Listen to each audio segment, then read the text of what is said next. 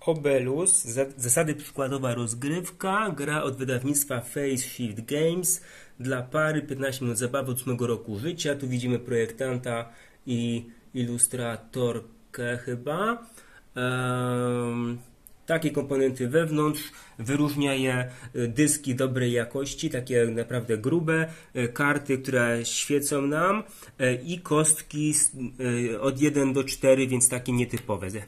E, naszym celem w grze jest takie e, e, przesuwanie tych obelisków i, i dawanie ich lub przywracanie, kiedy będą wygnane, czy kiedy będą na zewnątrz, żeby ostatecznie przeciwnik nie mógł ani przyzwać obeliska, czyli że pojawi się nowy, nowy w grze, czyli żeby nie było już pustych kart, lub karty były zablokowane przez, e, przez e, krążki takie szczelin, lub druga rzecz e, i druga rzecz, tak, żeby nie, nie mógł przesunąć obelisku w swojej turze, tak?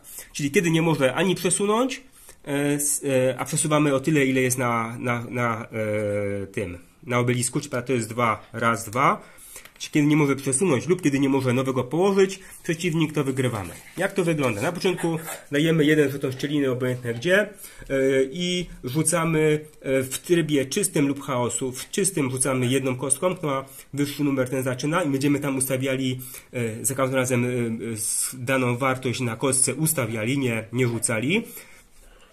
Natomiast czwórka może być tylko jedna w grze a w trybie chaosu, którym powinno się zacząć grę dla początkujących, jest to, że rzucamy wszystkimi, rzucamy wszystkimi przeciwnik, kto ma wyższą sumę, ten zaczyna.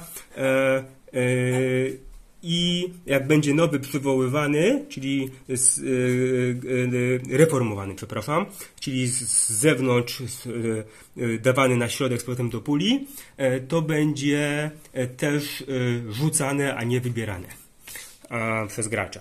I mamy tak. E, ustawienie już tutaj mamy zrobione. E, pierwsze to jest e, przywołanie obelisku. Patrzymy, która karta nie ma szczeliny, czyli nie ma tego krążka czerwonego i która jest generalnie pusta, niezajęta przez obelisk. Tam możemy położyć swój ten, swój obelisk. Bierzemy jeden ze środka, taki jak, jaka, jaka tutaj jest wartość i kładziemy na jedną z tych dwóch kart tak? Zanim położyliśmy w środku, to, to trzeba było rzucić lub samemu ustawić w trybie e, czystym. E, druga rzecz, którą możemy zrobić, bo to tak, pierwsze to jest, że, że kładziemy obelisk. Druga rzecz to jest, że przesuwamy te, taki, który jest już w grze. Jak kładziemy, nie możemy położyć tam, gdzie jest inny obelisk i tam, gdzie są czerwone krążki. E, to jest blokada e, nie do postoju, ale blokada do położenia tej czerwonej krążki szczelin. Drugie przesunięcie. Przesuwamy obelisk dokładnie o taką wartość, jaką ma e, na, na sobie u góry, czyli na przykład ma dwa, no to raz, dwa w jedną lub raz, dwa w drugą, tak? Ma, ma trzy, raz, dwa, trzy lub raz, dwa, trzy. Natomiast jest zasada taka, że mogę przejść nad swoim obeliskiem, mogę położyć na obelisku przeciwnika, wtedy on jest wygnany, czyli idzie do góry, E, a jeśli mój jest u góry, to zostaje zreformowany, czyli, czyli rzucam go i daję na środek, a ten po przesunięciu zmieniam na jakąkolwiek wartość inną. Czyli on będzie potem tutaj na tej karcie zmieniony z dwójki na 1, 2, e, na, z dwójki na 1, 3 lub 4. Pamiętamy, czwórka tylko jedna w grze. E, I ta, ta nowa wartość wskaże nam, o ile on będzie mógł potem się przesunąć w prawo lub w lewo. E, czemu nie może tu, tu w dół być przesunięty? Ponieważ nie może przejść nad przeciwnikiem. Może stanąć na przeciwnika, żeby go wygnać, czyli po, po, położone do góry są wygnane, e, natomiast nie może przejść nad nim. Całą, całą wartość musimy przejść o tyle kart, jaką ma wartość, czyli jak ma na przykład czwórkę, to nie może przejść o 3, czy 2, czy o 1, musi o 4. A więc to jest e, ta e, akcja z przesunięciem obelisku. Jeśli się przesunie e, i któregoś wygna, to daje go na zewnątrz, a e, e, od razu robi wtedy też e, reformowanie, czyli jak czarny tu, a tu był czarny, to ten nowy jest kładziony w środku, przerzucany lub ustawiany przez gracza, w zależności który tryb sobie wybieramy. E, chaosu, czyli ten początkujący jest, e, jest żeby, e, żeby przerzucać.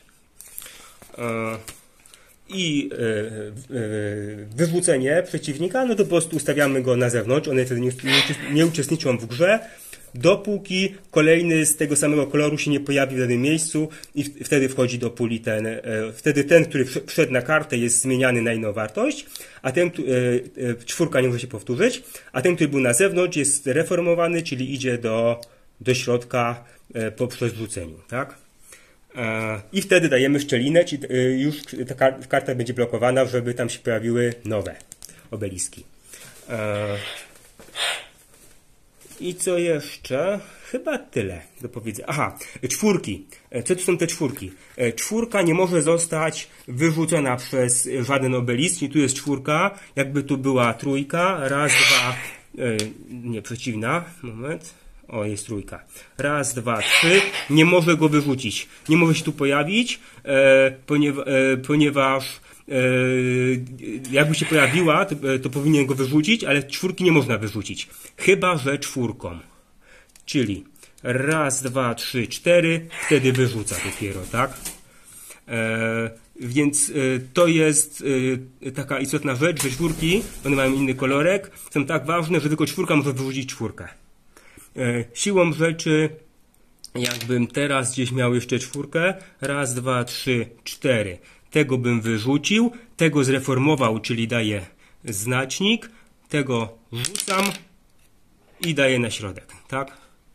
No i do momentu gramy aż e, będzie tyle tych krążków szczelin blokujących i nie będzie można plus e, nie będzie można przesunąć tych swoich obelisków E, wtedy, wtedy wygrywamy, tak? Kiedy przeciwnik nie może dodać i nie może przesunąć.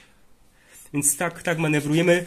E, a z przesuwaniem pamiętamy, że o tyle, ile jest wartości na obeliskach u góry, e, plus nie można czwórek, chyba że inną czwórką. No i przywoływanie to dawanie na pustą kartę, czyli taką, gdzie nie jest zajęta przez obeliski i nie jest blokowana przez szczeliny.